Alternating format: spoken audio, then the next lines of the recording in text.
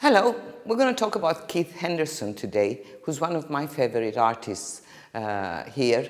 And he was sent several times to Cyprus by the Empire Marketing Board, um, um, uh, Empire Marketing Board to portray the new acquisition of Britain.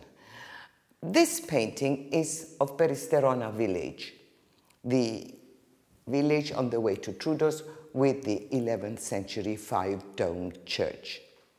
As he's portrayed it here, the village is completely dead. There are no people. There are no animals. There are no birds even. There's not even smoke.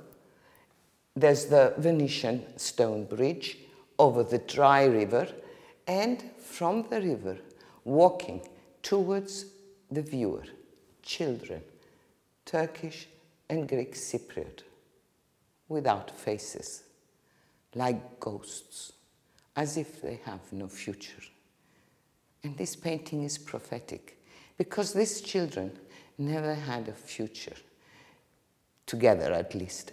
After a few years, due to the intercommunal troubles, they split up, never to get together again.